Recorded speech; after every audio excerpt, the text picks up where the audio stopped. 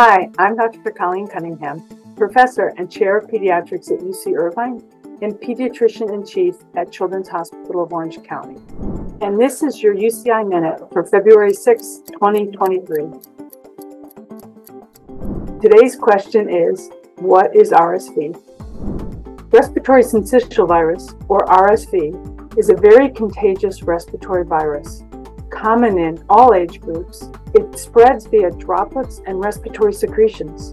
Infection can happen if we touch a contaminated surface and then touch our eyes, nose, or mouth. It also can spread by inhaling droplets from an infected person's sneeze or cough.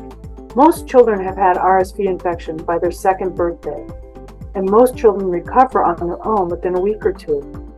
But some young children, older adults, and people with immune or lung problems can become very ill. In babies under 12 months of age, RSV is the leading cause of bronchiolitis, which is inflammation of the small airways in the lung, and pneumonia.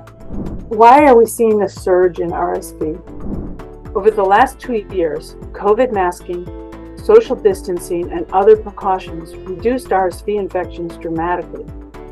In a normal year, only the youngest children would be experiencing their first infection with RSV.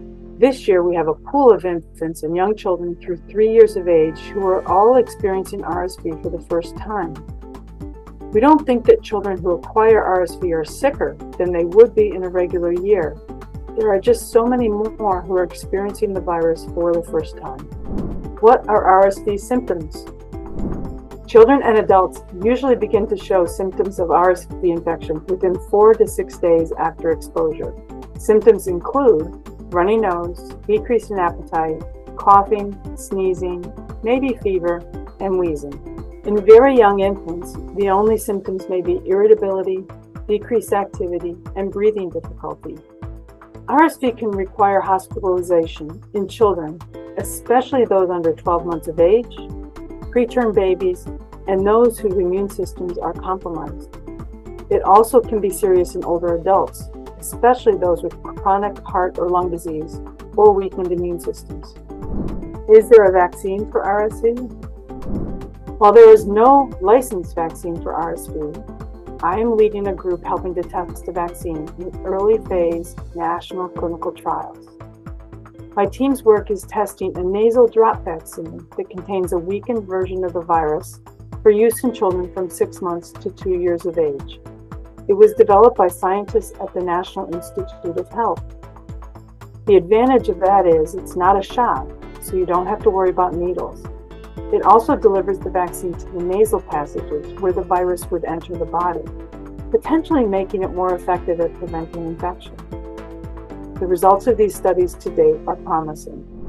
How do I protect my child from RSV? As we did with COVID 19, be sure that everyone in the household washes their hands or uses an alcohol based hand sanitizer before and after touching your baby. Avoid contact between your infant and anyone who is ill, even if that person just has a cold. We can protect our children by keeping the other vaccines up to date also. You can learn more about the symptoms and treatment of respiratory syncytial virus at the Centers for Disease Control and Prevention website at www.cdc.gov.